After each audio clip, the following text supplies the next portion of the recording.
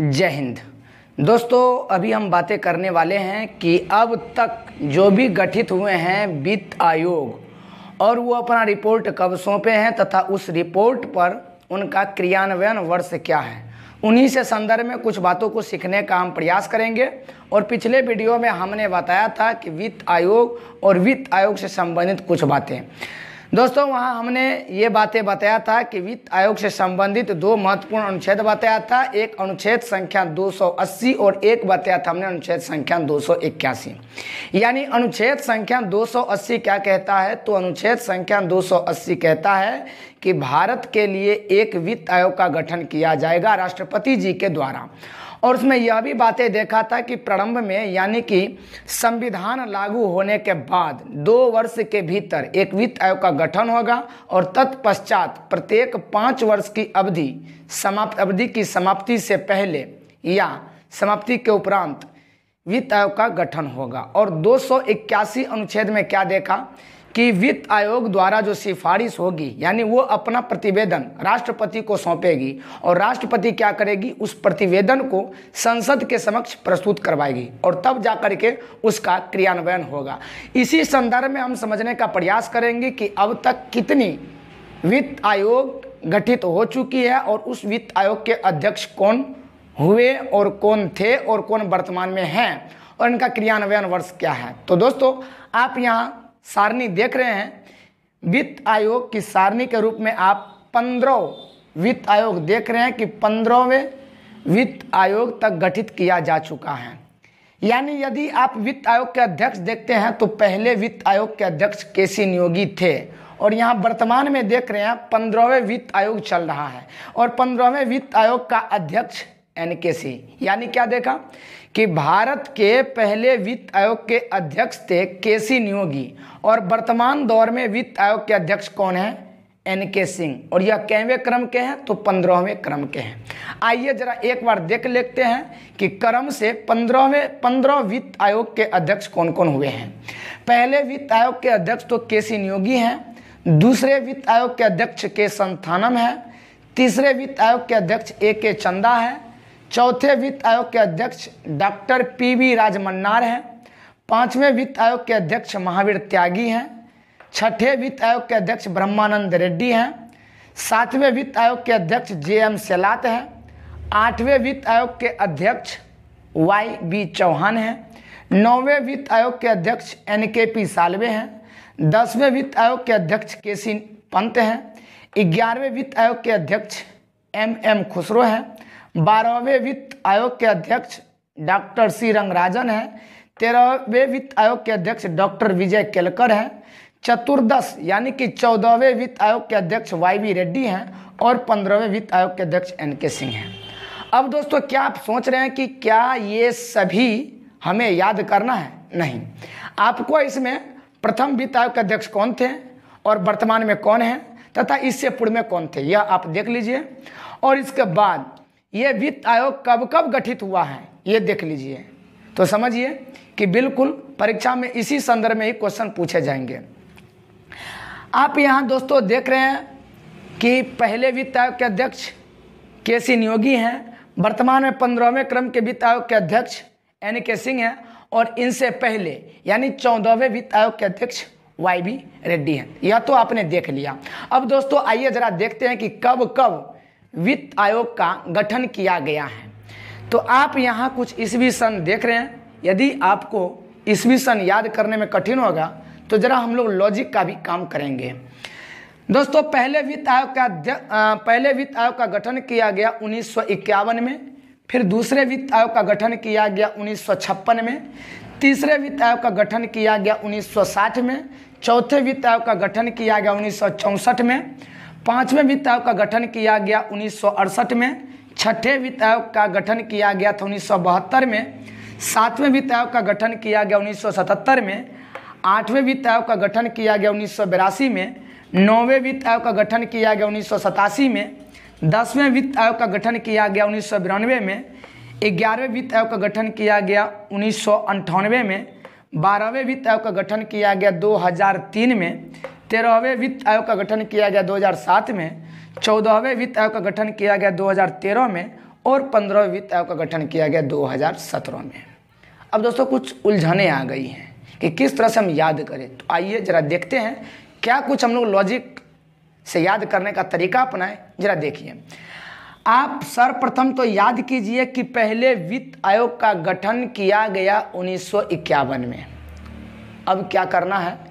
इसमें पाँच वर्ष जोड़ दीजिए। तो पाँच वर्ष यदि आप जोड़ते हैं तो उन्नीस सौ छप्पन में दूसरे वित्त आयोग का गठन हुआ। क्या देखा हमने? कि पहले वित्त आयोग का गठन उन्नीस सौ इक्यावन में किया गया, तथा दूसरे वित्त आयोग का गठन उन्नीस सौ छप्पन में किया गया। यानी पाँच वर्ष जोड़ दिए। अब क्या करना है?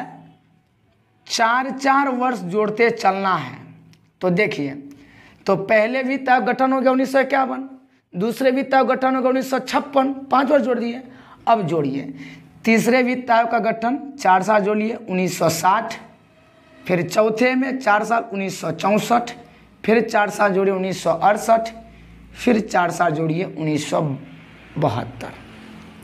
तो आप देख लीजिए, यानी कि एक, दो, तीन, चार, कुल हमने चार बार, चार साल जोड़ा।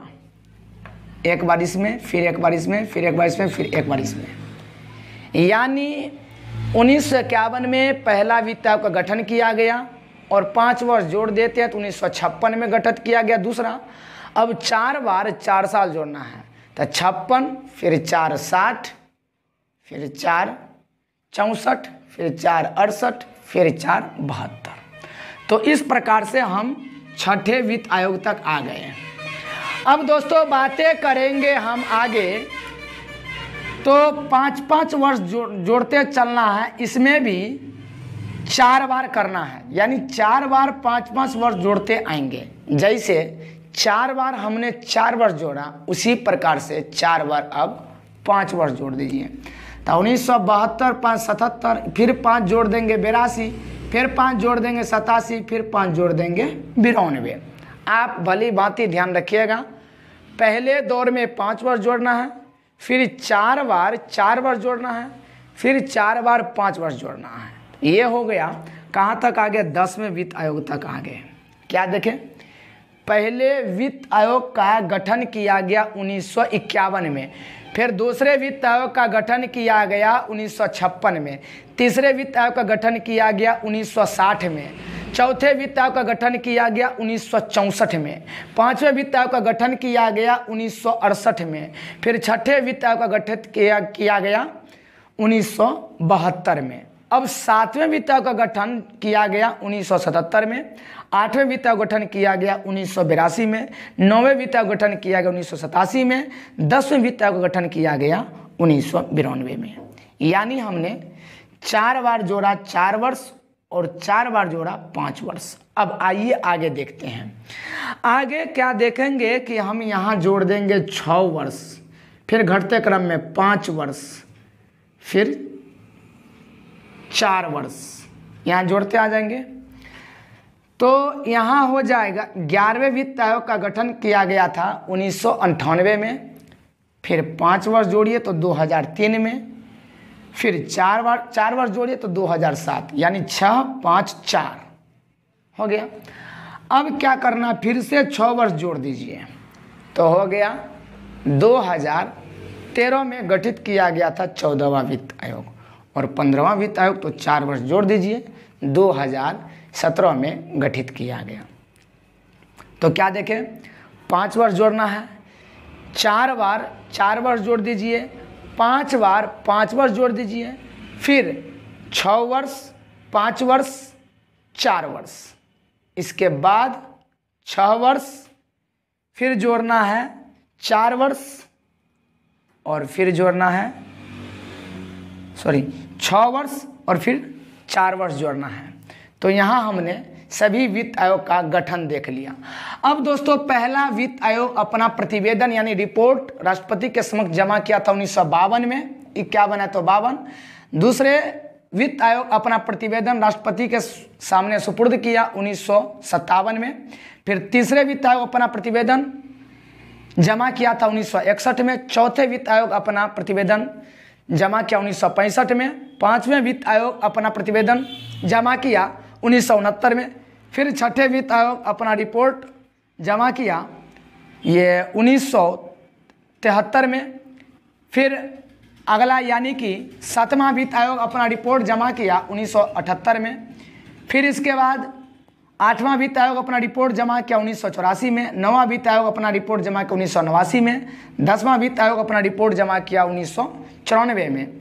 फिर ग्यारहवां वित्त आयोग अपना रिपोर्ट जमा किया 2000 बारहवा वित्त आयोग अपना रिपोर्ट जमा किया 2004 तेरहवा वित्त आयोग अपना रिपोर्ट जमा किया 2009 और चौदहवा वित्त आयोग अपना रिपोर्ट जमा किया 2014 अब दोस्तों, रिपोर्ट जमा करने के बाद वो जो उस रिपोर्ट पर क्रियान्वयन करेंगे, यानी काम जो करेंगे, जो अवधि रहेगा, वो क्या है तो सुनिए। पहले वित्त आयोग अब उस जमा किए गए रिपोर्ट पर क्रियान्वयन किए थे उन्नीस सौ बावन से संतावन यानी कार्यकाल ही। फिर दूसरे वित्त आयोग का कार्यकाल रहा उन्नीस सौ सत्तावन से बासठ। फिर तीसरे वित्त आयोग का कार्यकाल रहा था उन्नीस सौ बासठ से छियासठ। फिर चौथे वित्त आयोग का उन्नीस सौ छियासठ से उनहत्तर। फिर इस तरह से पाँचवें वित्त आयोग का रिपोर्ट जमा करने के बाद जो क्रियान्वयन का वर्ष था उन्नीस सौ उनहत्तर से चौहत्तर। फिर इसके बाद छठे वित्त आयोग का क्रियान्वयन का समय था उन्नीस सौ चौहत्तर से उनासी। फिर सातवें का क्रियान्वयन का वर्ष था उन्नीस सौ उनासी से चौरासी। फिर आठवें वित्त आयोग का क्रियान्वयन का वर्ष था उन्नीस सौ चौरासी से नवासी। फिर इसके बाद नौवें वित्त आयोग का क्रियान्वयन का वर्ष था उन्नीस सौ नवासी से पंचानवे। फिर दसवें वित्त आयोग का क्रियान्वयन का वर्ष था उन्नीस से 2000 फिर ग्यारहवें वित्त आयोग का क्रियान्वयन का वर्ष था 2000 2005 बारहवें का था 2005 से 10 तेरहवें का 2010 से 15 इसके बाद चौदहवें वित्त आयोग का क्रियान्वयन का वर्ष था 2015 से 20 और ये जो पंद्रहवा वित्त आयोग जो है, जिनके अध्यक्ष हैं आपका एन के सिंह, इनका क्रियान्वयन का वर्ष है 2021 से 26 और ये 26 तक इस रिपोर्ट पर काम करते रहेंगे। तो दोस्तों, इस प्रकार हमने देखा कि अब तक कब कब गठित किया गया। इसमें महत्वपूर्ण है कि प्रथम वित्त आयोग का अध्यक्ष कौन थे, वर्तमान में कौन है, कैवे क्रम के, इससे पहले कौन थे और कब गठित किया गया वित्त आयोग। तो यह आप ध्यान रखिएगा। तो दोस्तों, इसी प्रकार आप मेरे साथ बने रहिए और अपना ढेर सारा प्यार और सपोर्ट हमें देते रहिए। और पुनः आपसे मिलते हैं अगले वीडियो में। तब तक के लिए जय हिंद।